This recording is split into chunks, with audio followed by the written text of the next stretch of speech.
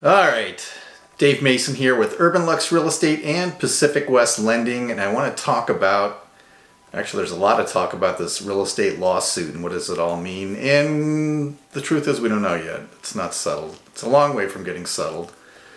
Although NAR has agreed payout of over $400 million, blah, blah, blah. All right, well, here's the thing. There's been disputes over who is paying the commission ever since i got into this business in 88 was when i first got my license.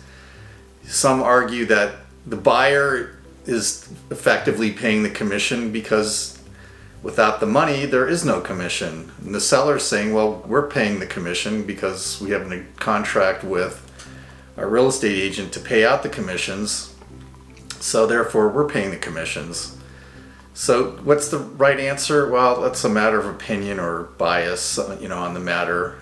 You know, we'll, you know, we'll see about that. But what I do know is houses are going to continue to sell.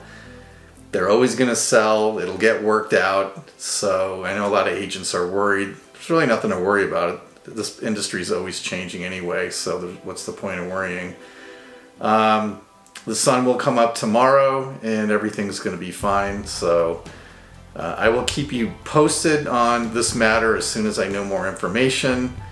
And that's all I have for now. So again, Dave Mason with Urban Lux Real Estate in Pacific West Lending. If you're thinking of buying or selling, give me a call. If you're in the market to buy a home and use Pacific West Lending, you can get up to $3,000 in closing cost credit just for using the bank. So uh, again, if you have any questions, just give me a ring. Thanks.